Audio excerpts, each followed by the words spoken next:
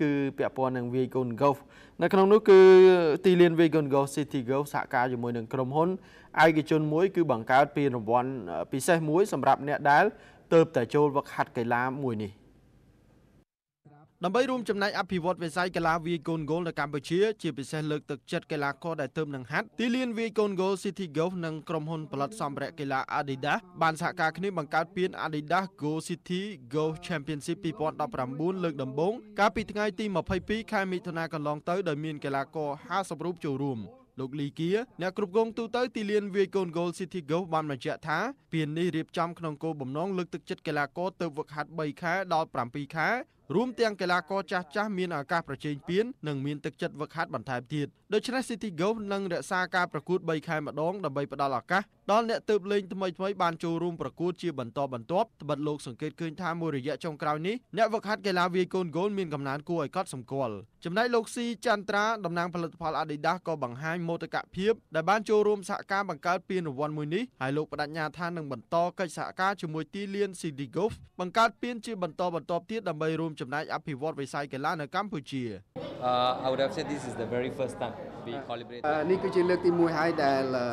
Adidas បានសហការជាមួយនឹងតារាងកូនគោល City Golf រៀបចំកម្មវិធីការប្រកួតកូនគោលថ្ងៃនេះគឺមានកីឡាករយើងចូលរួមជាច្រើនហើយយើងដូចថាគេមានអ្នកដែលគេមានតម្រូវការច្រើន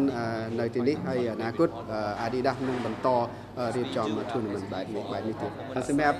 បច្ចុប្បន្ននេះអ្វីដែលគាត់រំពឹងធ្វើគឺនឹងសហការជាមួយនឹងតារាងកូនគោលនៅស្រុកខ្មែរគាត់ក៏បាន sponsor ទៅផ្នែកកីឡាករ Taekwondo អ្នកដែលលេងអ្នកដែលលេងបាល់ទាត់ឆ្នាំទៅគាត់បានចាប់ដើមមកលក់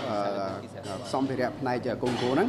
ដូច្នេះហើយឥឡូវនេះគាត់ចង់បង្ហាញរបស់ដែលតាក់ទងនឹងកូនកូនហ្នឹងទៅ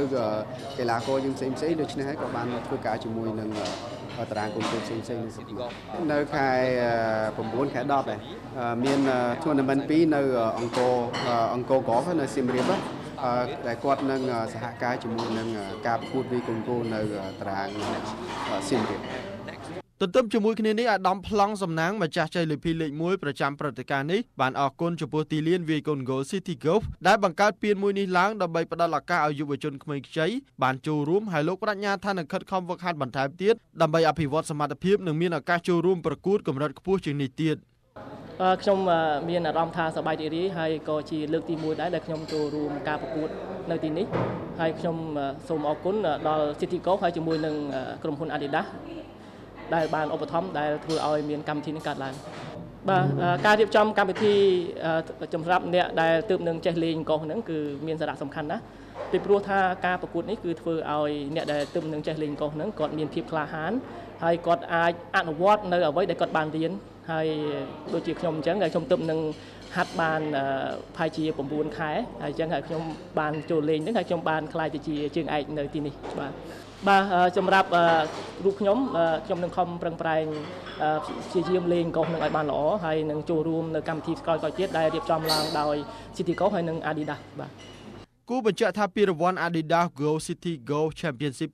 2019បានដំណើរការមួយព្រឹកពេញកាលពីព្រឹកថ្ងៃទី22ខែមិថុនាដោយមានកីឡាករ50រូបចូលរួមជាលទ្ធផលលេខ1បានទៅអាដាមប្លង់សំណាងបានពិន្ទុបូក3ខណៈលេខ2អាដាមស៊ុំសុភ័ណ្ឌបានពិន្ទុបូក3និងលេខ3បានទៅលើអាដាមខៀវមុតលេខ3បានពិន្ទុបូក4